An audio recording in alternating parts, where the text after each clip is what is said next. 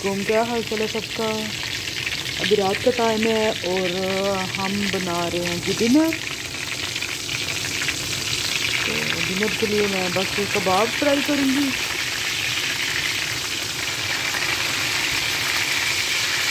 और साथ में ये स्प्रिंग ऑनियन है, इनको फ्राई करूँगी। और बस हम यही खाएँगे।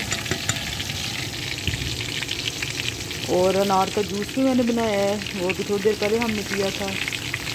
तो अभी हम ये हल्का फुल्का से, हल्का फुल्का तो नहीं है तो रात को ऑयल वाले ही है, लेकिन चले।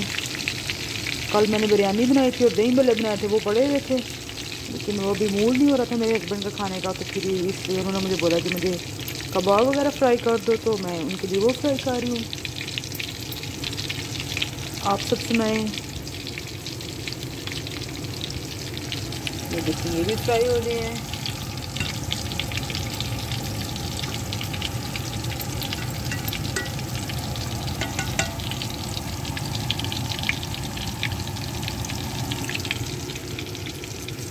और ये देखिए जी, मैं लेके आई थी न्यू ये काफ़ी बीटर है, काफ़ी हम बनाते हैं। दूध वाली और उसके लिए ये मैं एक नया लेके आई थी कहा आपको भी दिखाती हूँ, ये देखें जी। काफ़ी अच्छा है इसे मैंने बनाई भी थी, काफ़ी बड़ी अच्छी बनी थी और बड़ी जल्दी बन गई थी। ये देखें। काफ़ी अच्छा वर्क करता है। और मैं आपको किसी दिन जो है ना काफ़ी बना के भी दिखाऊँगी। बहुत अच्छी काफ़ी बनती है जी। बहुत मज़े की। कबाब हमारे रेडी हो चुके हैं जी, इनको निकाल लेते हैं हम। मैं इनको खुद ही ज़्यादा डार्क ब्राउन करती हूँ क्योंकि मुझे थोड़ा ये होता है कि अंदर तक जो है ना वो पकते हैं इसलिए इनका कलर आपको डार्क लग रहा होगा। ऐसा कैसे वैसे बात नहीं है कोई कि ये जले नहीं है, लेकिन मैं खुद इनको ऐसे ही डार्क ब्राउन फ्राई करती हूँ। मुझे ऐसे ही पसंद है।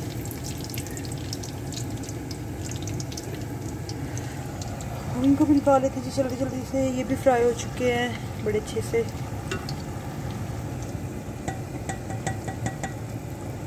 ये देखिए जी, इनको मैंने ऐसे लगा दिया ताकि इनका ऑयल अच्छी तरह से निकल जाए। ये देखिए जी। ये देखिए हमारी प्लेट रेडी हो चुकी है जी। आए आप भी सब मिलके खाएँ।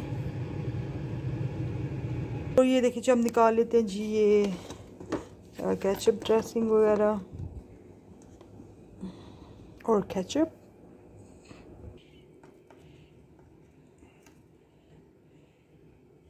और जी, साथ में चाहिए इन्हें ब्रेड भी, और वो ब्रेड मांगे तो इनको मैं देती हूँ जी ब्रेड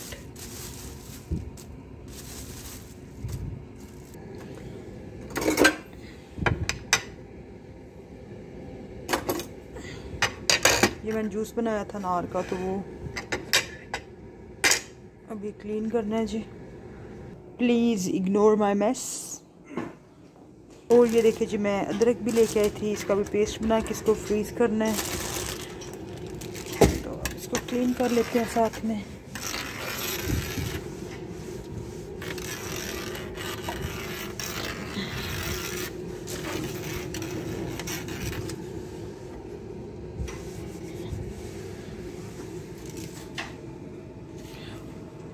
ठीक है जी, मिलेंगे फिर आपको एक नई वीडियो में। तब तक के लिए हमें इजाज़त दीजिए। अल्लाह हाफिज़।